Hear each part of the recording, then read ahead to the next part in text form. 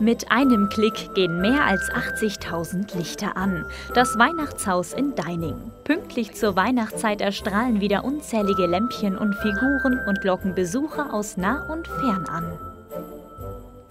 Also ich bin auf die Idee gekommen, mit so viel Lichtern das zu dekorieren, muss ich sagen, weil ich ähm, als kleines Kind immer schon so den amerikanischen Film da Schöne Bescherung angeschaut habe. Und da kam so ein bisschen die Begeisterung, dass ich gesagt habe, ja, wenn ich groß bin, will ich das auch mal machen. Und dann hat es halt einfach klein angefangen mit zwei Bäumen im Garten dekorieren. Trotz Energiekrise hat sich Andi Kassner nicht davon abhalten lassen, sein Elternhaus in Deining in ein Lichterspektakel zu verwandeln.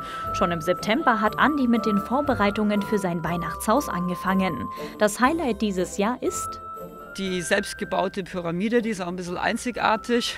Die ist fast fünf Meter hoch und dreieinhalb Meter im Durchmesser. Die, das war mal ein ehemaliges Kinderkarussell. Das haben wir sehr teuer umgebaut und hat lebensgroße Krippenfiguren, die ich auch extra aus Österreich geholt habe.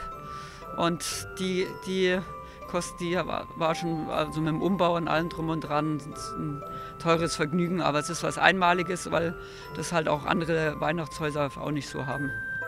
Während die Lichter bei den Weihnachtsmärkten ab 21 Uhr aus sind, geht es im Lichterhaus von Andi erst richtig los. Und mit Hilfe der gezielten Einschaltzeiten und der LED-Technologien lässt sich sogar der Stromverbrauch gut kontrollieren. Dass das beleuchtete Haus Weihnachtsvorfreude bei Groß und Klein auslöst, ist für Andi Kassner jetzt schon das größte Geschenk zur Adventszeit.